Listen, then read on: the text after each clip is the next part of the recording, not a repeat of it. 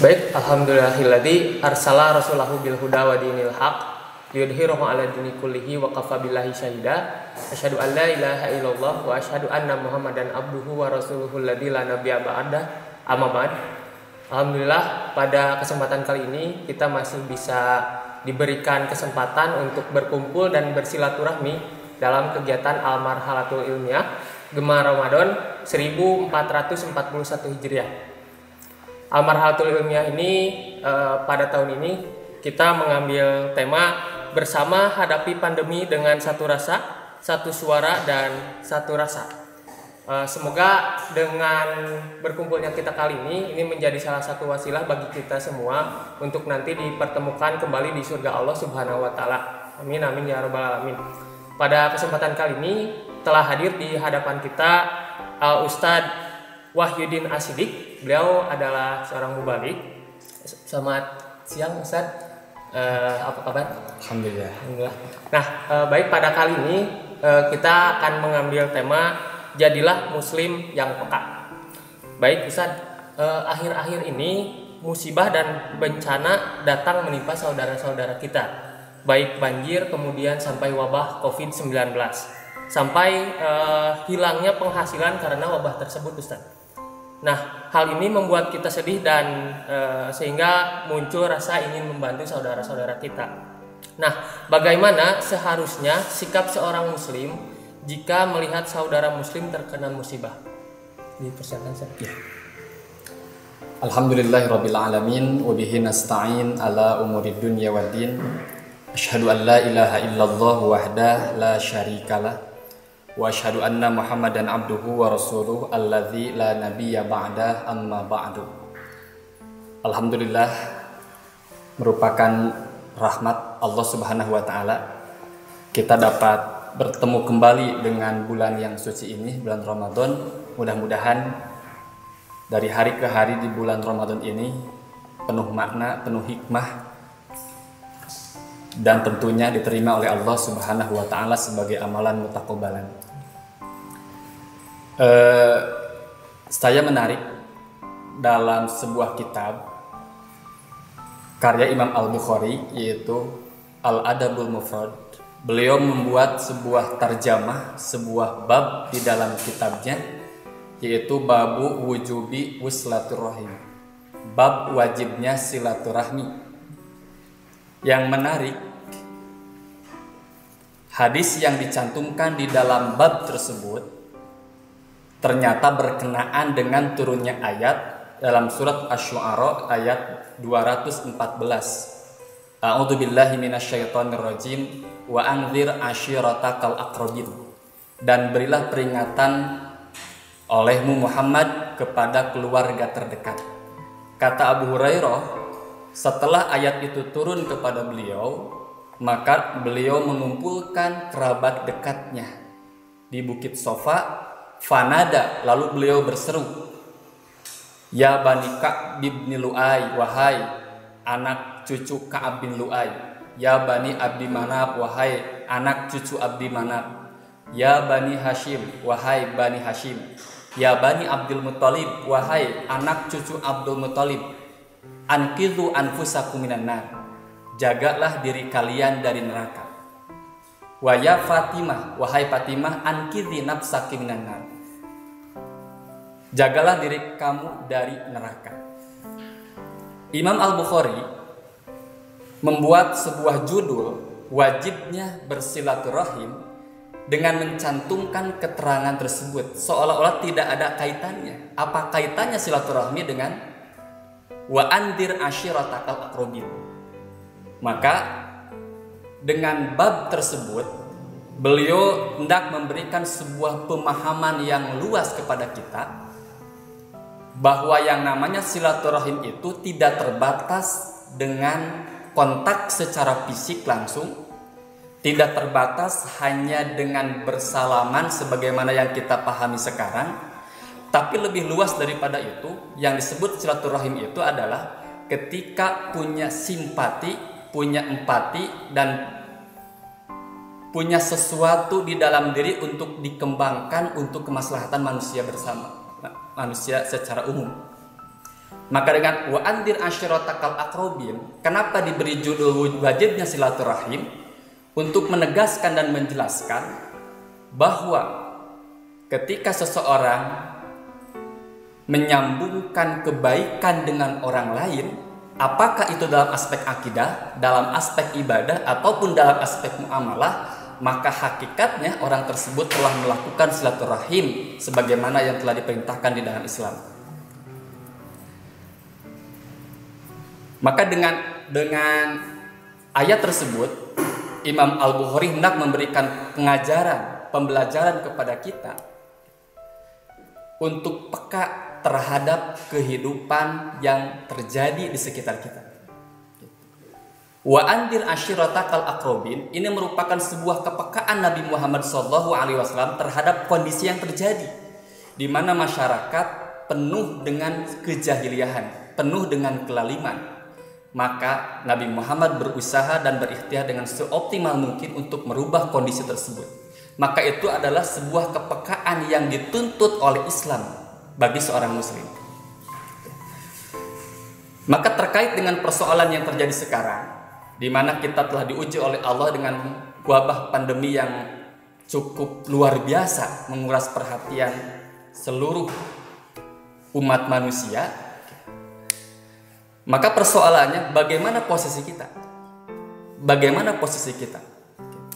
Maka Al-Qur'an menggambarkan A'udzubillahi minasyaitonirrajim Innamal mu'minuna ikhwatun. Sesungguhnya mukmin itu adalah bersaudara. Nah, ini menarik. Kenapa Allah menggunakan ikhwatun? Padahal kalimat ikhwatun adalah saudara yang terikat dengan nasab, terikat dengan darah. Tapi Allah menggunakan innamal mu'minuna ikhwatun. Hal ini oleh ahli tafsir di, diungkap untuk menggambarkan bahwa li anna ukhuwatal Islam aqwa min ukhuwatin nasab. Bahwa persaudaraan yang dibangun dengan Islam dan keimanan itu lebih kuat dan lebih berharga dibanding persaudaraan e, dikarenakan darah dan keturunan. Maka dalam ukhuwah Islamiyah, maka di sana tak kamu ada saling menjamin, ada saling mengayomi. Maka artinya ketika kita tidak berempati, bersimpati dengan kondisi dan realita yang terjadi, apalagi di tengah musibah yang terjadi, maka dipertanyakan ukhuwah Islamiyah kita dipertanyakan. Padahal Allah telah menjelaskan innamal mu'minuna ikhwatun. Mukmin itu bersaudara. Dan persaudaraan yang diikat dengan agama itu lebih kuat dibandingkan ikatan nasab, ikatan darah. Maka jelas apa yang harus kita lakukan itu jelas harus terkonsep dengan kuat. Dan itu adalah menandakan keimanan seseorang. Maka apa langkah kita? Maka Rasul mengajarkan tidak ada yang tidak bisa dibuat oleh seorang muslim untuk muslim yang lain. Tidak ada alasan apakah dia sakit, apakah dia lemah, apakah dia miskin, tidak ada alasan. Setiap mukmin dituntut untuk memberikan sesuatu terbaik kepada saudaranya yang mukmin, apalagi saudaranya terkena musibah. Apa di antaranya adalah doa. Itulah doa. Salah satu cara untuk menyambungkan silaturahim kita dengan saudara kita, salah satu ikhtiar kita untuk membuktikan ukhuwah Islamiyah kita adalah dengan bentuk doa dan doa ini tidak bisa dianggap sepele. Maka Rasulullah pernah bersabda di dalam riwayat Muslim, dakwatul mar'il muslim li akhihi bizahril ghaib mustajab. Doa seorang muslim tanpa diketahui doanya oleh orang yang didoakan itu doanya mustajab. Doanya pasti dijawab. Kenapa sebab? Sebab doa tersebut lahir dari keikhlasan. Bukan hanya sebatas lipstick belaka. Sudah menjadi biasa kan. Di kita doakannya jancing pinter. Itu kan hanya sebatas penghias bibir. Tidak dibarengi dengan hati yang ikhlas. Tapi ketika orang berdoa, mendoakan seseorang, orang yang didoakan tidak mengetahuinya, maka itu menggambarkan sebuah keikhlasan yang luar biasa. Maka untuk membuktikan innamal mu'minuna ikhwatun minimal wajib bagi seorang muslim mendoakan kebaikan saudaranya. Itu wajib saya kira, bukan sunnah muakadah lagi, wajib. Sebab tidak boleh seorang mukmin berdiam diri ketika melihat saudaranya ada dalam kesempitan. Dan doa ini tidak tersekat dengan waktu, tidak tersekat dengan ruang, tidak tersekat dengan kemampuan yang ada. Semua orang bisa untuk berdoa. Maka maksimalkan doa terbaik kita, doa ikhlas kita untuk saudara kita yang terkena musibah. Tidak perlu kita memberitahu bahwa kita mendoakan mereka, karena yang namanya keikhlasan dorongannya bukan karena manusia, tapi dorongannya karena iman yang kuat di dalam diri. Yang kedua jelas, adanya langkah ikhtiar yang nyata. Apa yang kita bisa? Apa yang kita bisa dan apa yang kita mampu? Allah tidak akan membebankan sesuatu yang tidak mampu kita lakukan. Oleh karena itu Rasul luar biasa. Rasul menggambarkan dalam riwayat Muslim Masalul mu'minina fit tawadihim wa tarahumihim wa ta'atufihim masalul jasad. Idza ishtaka minhu adun tada'alahu sa'ilul jasad.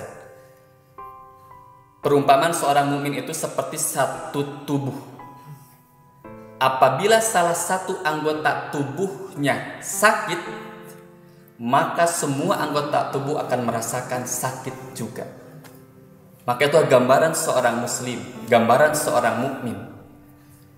Ketika ada saudara yang terkena musibah, ada kesempitan, maka akan terpengaruh besar di dalam kehidupan di dalam jiwanya.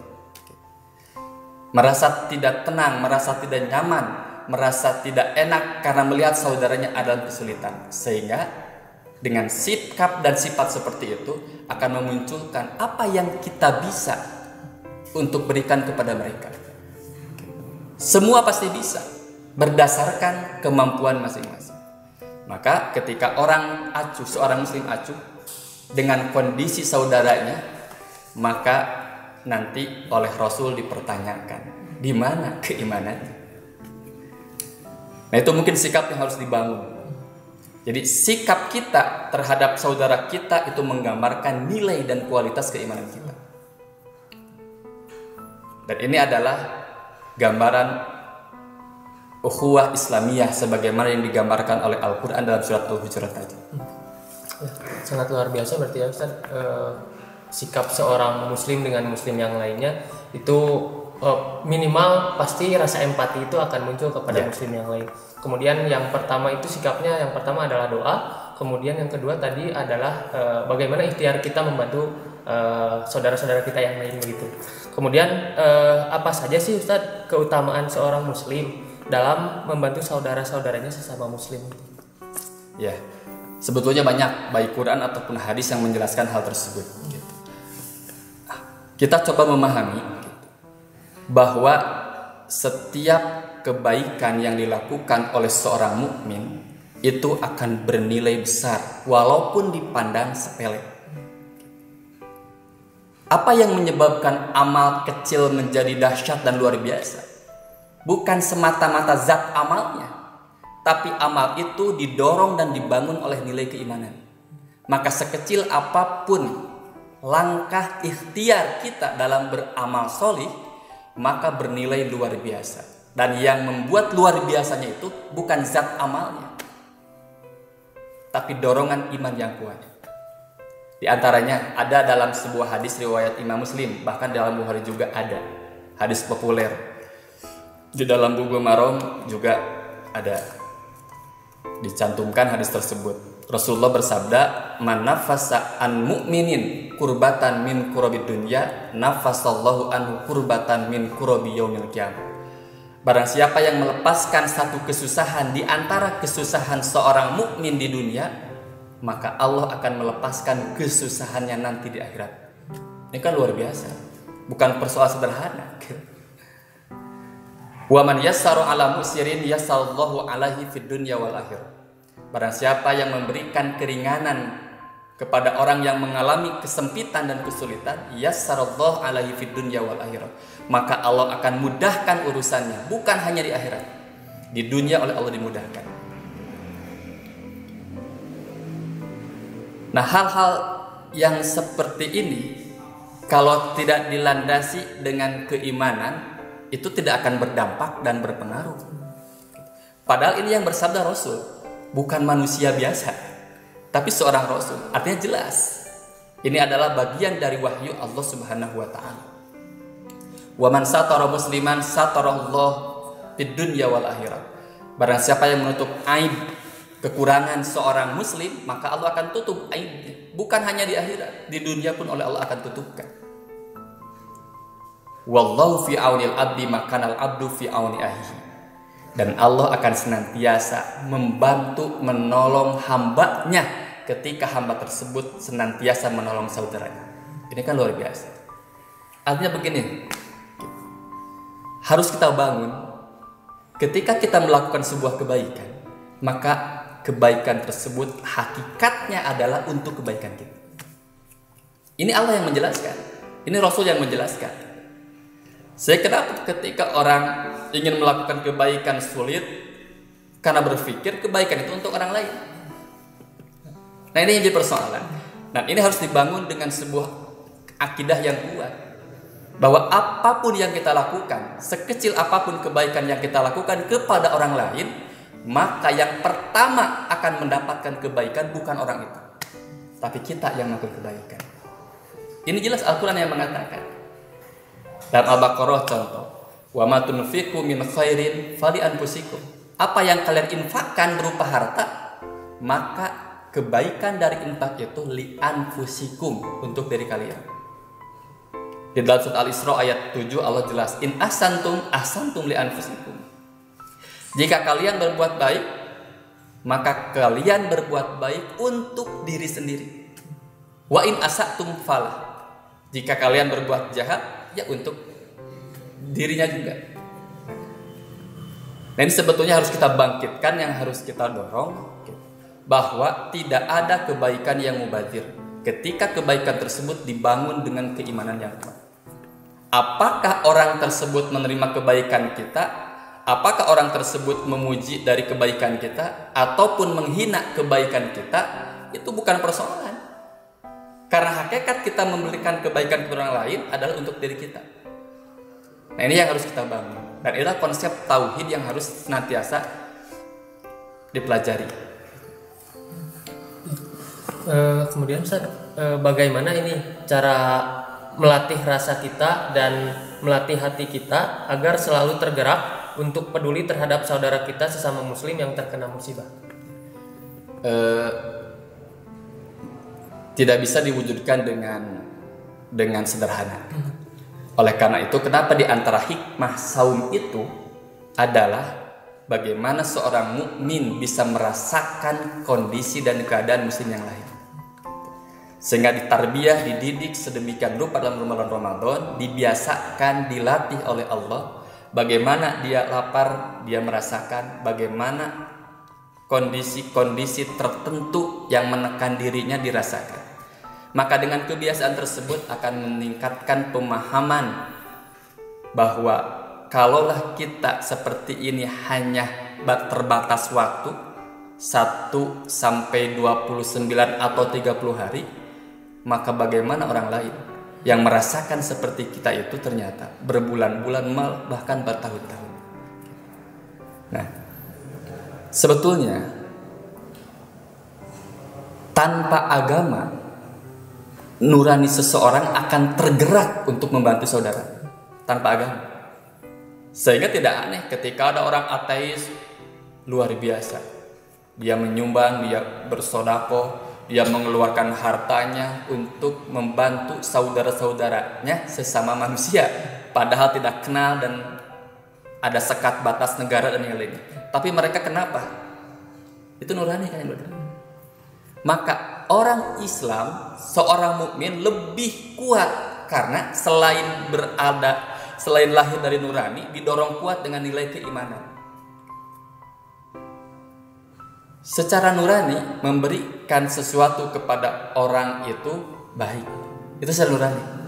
Orang tanpa agama pun memahami hal itu. Nah persoalannya apalagi kita didorong kuat oleh agama maka cek sunan kacidatei gitu. Kacidatei seperti gambaran kan kenapa Allah mengatakan eh, yukadzibu bidin Tahukah kamu siapa yang mendustakan agama? Ternyata di antaranya adalah yadu yatim, menghardik anak yatim, walayah hudu ala to'amin, miskin, tidak menganjurkan memberi makan kepada yang miskin. Tanpa agama, secara nurani itu akan tergerak untuk melakukan hal tersebut. Ketika melihat orang lain kelaparan, maka nurani akan tergerak untuk memberikan apa yang dia punya Nah, apalagi dengan dorongan agama. Tadi kasih dating gitu orang Islam. Dikuatkan dengan dalil, dikuatkan dengan agama, tapi kenapa masih tertutup diri untuk memberikan sesuatu kebaikan kepada orang lain? Artinya terlepas dengan kondisi masing-masing, maka yang jelas tidak bisa muncul dengan tiba-tiba tapi harus ditekan dengan kuat dengan dorongan agama maka tadi teh ya bertauhid yang harus dibenahi sebab kata Imam Ibnu Taimiyah beliau pernah mengatakan ida soha soha biha kullu mas'alatin wa khalin wa zaukin apabila akidah tauhidnya bersih kuat soha biha kullu mas'alatin maka setiap persoalan itu akan beres. Tapi ketika tauhid tidak beres, lam yusel abdu fal fasadu lazama lahu fi ulumihi wa amal. Maka kerusakan akan senantiasa menyertai dirinya dalam pemikirannya, dalam ilmunya, dan dalam amalnya. Maka kepekaan kita terhadap saudara itu adalah gambaran dari nilai keimanan kita. Banyak hadis yang mengisarkan seperti itu. Sebagai dalam Al Bukhari kan sampai seperti ini kan. La yu'minu. Tidak sempurna iman. Dalam Ibnu Hibban lebih jelas la yablugu abdun haqiqatal iman seorang hamba belum mencapai derajat hakikat iman yang sebenarnya hatta yuhibba li ahihi ma yuhibbu li sehingga mencintai saudaranya melebihi seperti sebagaimana mencintai dirinya sendiri. Ini luar biasa ajaran Islam. Ketika ada sesuatu yang jelek menimpa kita, maka posisi dan keadaan kita pun akan merasakan berat. Maka ketika musibah tersebut menimpa saudara kita, maka akan sama dirasakan dirinya. Itulah yang dimaksud yuhibbu ma yuhibbu li bahkan dijadikan dijadikan standar keimanan ya. Gitu. hadis yang cukup populer dalam Al Bukhari la yu'minu man kana yu'minu billah wal yaumil akhir. Barang siapa yang beriman kepada Allah dan kepada hari akhir fal yakul khairan al yasmut. Berkatalah yang baik atau diam ini kan terkait dengan bermuamalah. Wa man kana yu'minu billahi wal yaumil akhir barang siapa yang beriman kepada Allah dan kepada hari akhir fala yu'dhi maka jangan menyakiti tetangganya. Man kana yu'minu billahi wal yaumil akhir barang siapa yang beriman kepada Allah dan hari akhir fal yukrim doifahu maka hormatilah tamunya. Ini kan ajaran Islam yang luar biasa sampai dijadikan standar yuk minu billahi wal yaumil akhir. Artinya apa? Artinya tidak bisa dipisahkan. Gitu. Antara akidah, ibadah, muamalah, pergaulan dengan masyarakat tidak bisa dipisahkan. Apalagi untuk memilih salah satunya, ah abdi mah bade akidah nawe nu sae. ah rek weh rajin keun bae urusan muamalah tidak bisa. Tidak bisa dipisah-pisahkan. Sehingga banyak terjadi banyak pemahaman di masyarakat kadang menyalahkan salah satu aspeknya contoh ada orang rajin sholat tapi kesehariannya menyakiti tetangga sampai muncul ungkapan kalah kaweh rajin sholat mending kawas urang karena sholat oge bager kata tadi betul betul. Just- Nah, ungkapan tersebut tidak bisa dibenarkan. Karena muamalah yang baik, muamalah yang sempurna, akhlakul karimah itu lahir dari akidah ibadah yang menempat dirinya. Artinya ketika terjadi ada orang yang sholat tapi kelakuan mendolimi orang lain tidak peka terhadap kehidupan orang lain jangan disalahkan sholat tapi salahkan mungkin ketika dia melakukan ibadah sholat hanya sebatas gerakan, hanya sebatas kebiasaan, belum menyentuh menjadi sebuah nilai dan makna tersendiri. Kenapa dia harus sholat? Itu mungkin kepekaan itu harus dibangun dan dibangun berawal dari akidah yang tadi. Eh, baik San, jadi eh, banyak respon kan ya ketika saudara kita mendapat musibah. Tadi yang pertama ada yang memang eh, muncul empati. Kemudian ada yang ah hare-hare gitu tidak membantu. Nah ini bagaimana hukumnya ketika memang seseorang itu tidak peduli terhadap saudara muslim yang terkena musibah begitu San E, membantu saudara itu wajib. Menolong saudara itu wajib. Maka ketika abai dari hal tersebut haram jelas. Berdosa. Gitu. Tidak dipandang sebelah mata atau ah iya mah dosa nage sigana biasa tidak bisa. Gitu. Sebab kehidupan kita tidak bisa lepas dari kehidupan orang lain. Maka ketika abai dengan keperluan orang lain, ketika kita abai dengan kondisi orang lain yang membutuhkan kita, maka akan terjadi persoalan. Dan persoalan itu bukan hanya urusan kita di akhirat nanti, tapi termasuk di dunia. Oleh karena itu kenapa Roh, eh, saya memahami ketika Allah mengungkapkan Wa ma tunfiqu min khairin fali anfusikum. Apa yang kalian infakkan sebetulnya untuk diri kalian sendiri. Akan dirasakan kemanfaatan. In ahsantum ahsantum li anfusikum. Jika kalian berbuat baik, maka kalian akan mendapatkan kebaikan dari kebaikan tersebut. Artinya jangankan di jangankan di akhirat. Dampak dari ketidakpedulian kita terhadap saudara itu akan berimbas dalam kehidupan yang sangat luas. Ketika harta berada dan beredar hanya di wilayah orang kaya, istilah Al-Quran, kailayakuna dula tambainal agniya minkum. Harta hanya ada di orang-orang kaya, maka akan terjadi dampak darurat yang luar biasa.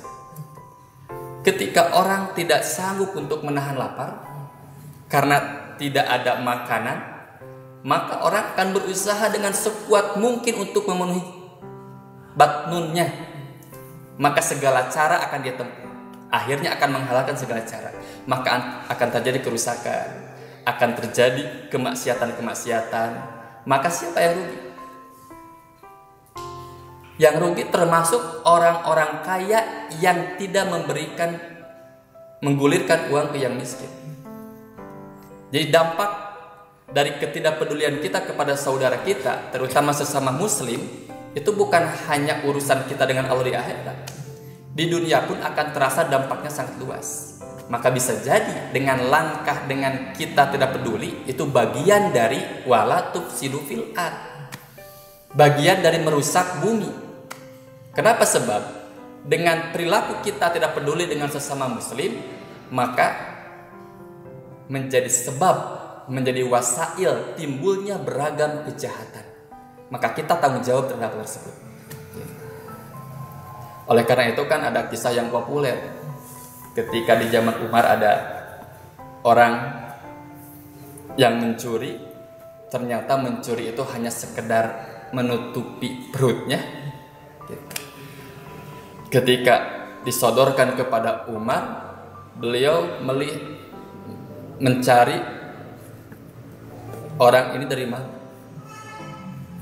ternyata lingkungan lumayan kaya. Artinya ini menjadi persoalan kenapa? Bisa terjadi orang miskin, kelaparan, sampai mencuri di tengah-tengah orang kaya. Nah ini dampak yang terjadi, apalagi di dalam mus, uh, wabah pandemi yang tengah kita alami. Gitu. Dalam berbagai aspek, dalam berbagai sisi, terasa kedaruratannya, apalagi dalam wilayah ekonomi. Ketika dalam wilayah ekonomi ini tidak saling menutupi antara muslim dengan muslim yang lain, maka akan berdampak pada kejahatan yang mungkin sulit untuk dihindari. Nah, itu yang harus dibangun. Jadi, kita melakukan kebaikan hakikatnya untuk kemaslahatan kita dan orang banyak, kita menahan kebaikan hakikatnya untuk kehancuran kita dan orang banyak. Oleh karena itu mindset berpikir tadi harus dicoba dibangun. Harus dicoba dikembangkan kembali. Dan kenapa kita harus ragu? Padahal Allah yang telah menjamin Allah yang telah menjanjikan, Rasul yang telah menegaskan bahwa setiap kebaikan yang kita lakukan itu akan bernilai keberkahan, berlapis keberkahan. E, kita bisa pahami, bisa ambil hikmah di dalam ayat saum yang ayatnya sudah populer dalam Al-Baqarah 183 ketika mengatakan ya ayyuhallazina amanu kutiba alaikumusiyam kama kutiba alal ladzina min qablikum la'allakum tattaqun. Dari saum yang Allah wajibkan itu tidak hanya terbatas saum, tapi efeknya akan melahirkan kebaikan demi kebaikan yang lain. Ketika orang saum, la'allakum tattaqun akan menjadikan orang itu bertakwa. Tidak mungkin orang menjadi takwa ketika tidak bisa dan sanggup melakukan beragam kebaikan. Berarti dapat dipahami, dapat dijadikan makna bahwa satu kebaikan yang kita lakukan akan melahirkan kebaikan-kebaikan yang lain. Dan sebaliknya, satu kejahatan yang kita lakukan akan melahirkan kejahatan-kejahatan yang lain.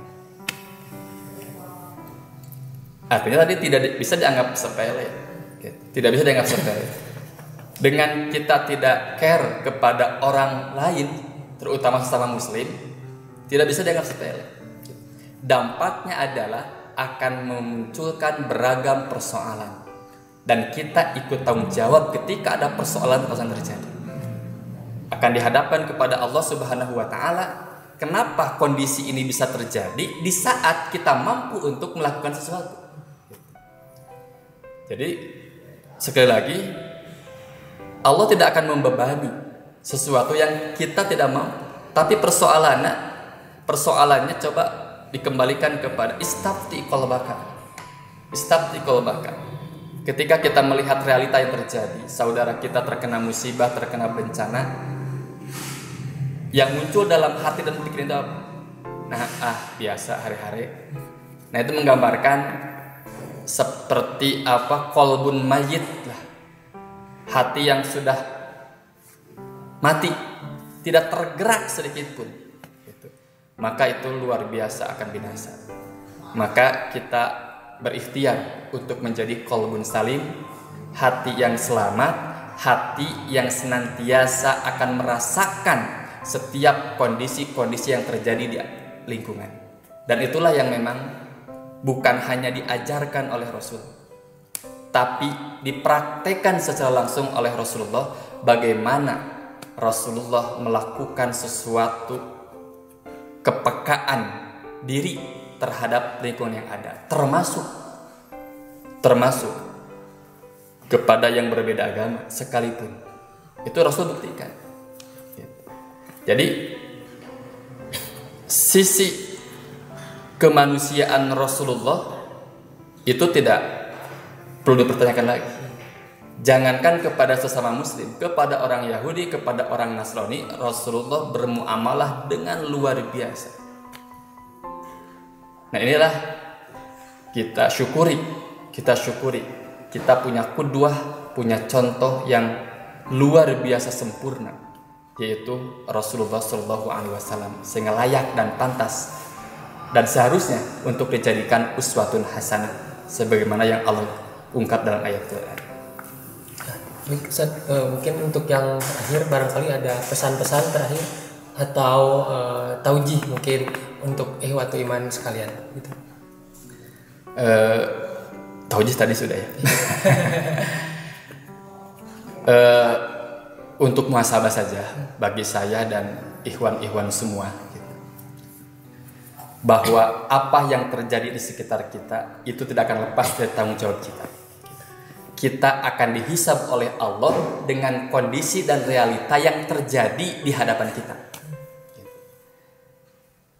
Artinya apa yang hendak kita jawab di hadapan Allah Subhanahu wa taala ketika Allah hendak bertanya kepada kita, kenapa terjadi kejahatan, kenapa terjadi kemaksiatan, kenapa terjadi berbagai hal di hadapan kita padahal kita mampu untuk merubah atau memberikan sesuatu solusi yang terbaik.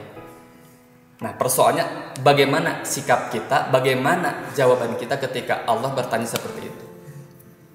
Nah, artinya bahwa yang namanya permata iman itu harus diasah. Harus diasah. Ketika keimanan tidak diasah, maka layaknya seperti pisau yang tidak diasah maka keimanan pun perlu diasah. Dengan apa diasahnya? Jelas dengan ilmu. Sebab ilmu dan iman itu dua hal yang tidak bisa dipisahkan. Ilmu dan iman dua hal yang tidak bisa dipisahkan. Maka untuk mengasah ilmu, untuk mengasah iman, maka ilmu lah yang utama yang harus kita bangun, yang harus kita kembangkan di dalam diri kita. Oleh karena itu kenapa uh, Al-Bukhari membuat sebuah bab terjemah uh, al-ilmu qoblal qaul wal amal. Bagaimana iman bisa sempurna ketika ilmu tidak ada dalam diri kita. Oleh karena itu diungkapkan fa'lam. Nah, fa'lam annahu la ilaha illallah. Ilmu dulu. Gitu. Ilmu dulu. Karena inilah yang akan mengasah permata keimanan kita. Itu mungkin yang bisa disampaikan. Mudah-mudahan ini adalah sebuah proses pembelajaran bagi kita. Bagaimana kita peka terhadap saudara kita. Bagaimana kita merasakan sesuatu yang dirasakan oleh saudara kita karena memang akan dirasakan kenikmatan iman dalam diri seseorang ketika orang tersebut merasakan kondisi saudaranya. Baik Ustaz, uh, terima kasih banyak atas ilmunya. Jazakumullah khairan katsiro. Baik, ihwatu iman sekalian, alhamdulillah uh, acara Almarhatul Imah dari awal sampai akhir telah terlaksana. Uh, mudah-mudahan ilmu yang kita dapatkan ini uh, mampu disebarkan kembali ke saudara-saudara kita yang lain uh, mengingatkan untuk Almarhatul Ilmiah ini bisa Iwatu Iman sekalian saksikan di YouTube channel Pemuda Persis Banjaran untuk Almarhatul Ilmiah uh, setiap hari Selasa dan Kamis. Kemudian untuk uh, kegiatan sambung rasa itu setiap hari pukul 17.20. Mungkin hanya itu yang dapat kami sampaikan. YouTube dengan doa Robbana atina fid dunya hasanah wa fil akhirati hasanah wa qina. Wassalamualaikum warahmatullahi wabarakatuh.